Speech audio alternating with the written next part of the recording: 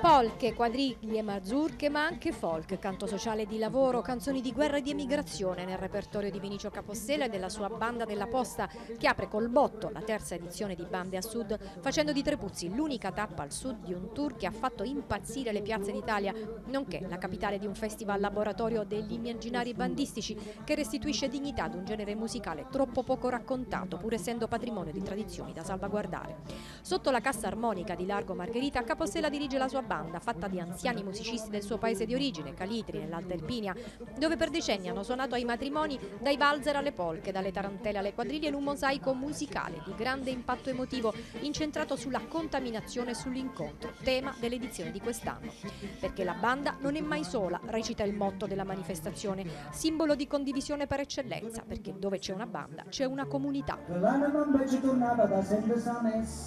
Lo sposalizio come mattore fondante della comunità, ma anche come contaminazione fra generi musicali, con la voce simbolo della Notte della Taranta di Enza Pagliara, special guest col suo coro Regina Plaza. E a suggello del senso più profondo dell'incontro, la raccolta di medicinali per Gaza, che accompagnerà tutti i concerti di bande a sud, raccolti in scatoli distribuiti in tutta l'area del concerto. Perché la banda è anche strumento d'amore e la musica può esserne il linguaggio universale.